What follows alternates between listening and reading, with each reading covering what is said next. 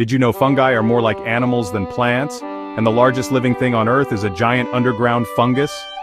Fungi are a kingdom of living organisms just like plants and animals, but they're totally unique. They can't make their own food like plants, instead fungi absorb nutrients from their surroundings. They come in many forms, like molds, yeasts, and mushrooms. Fungi are everywhere, in the soil, in the air, on your skin, and even inside your body. Some fungi are tiny and microscopic while others grow into giant mushrooms or networks underground called mycelium. Not all fungi are bad. Good fungi help decompose dead things, make bread rise, and produce antibiotics like penicillin. But bad fungi can cause diseases in plants, animals, and even humans, like athlete's foot or crop damage. Fungi breathe oxygen, just like we do. Some glow in the dark, called bioluminescent fungi. And remember that giant fungus?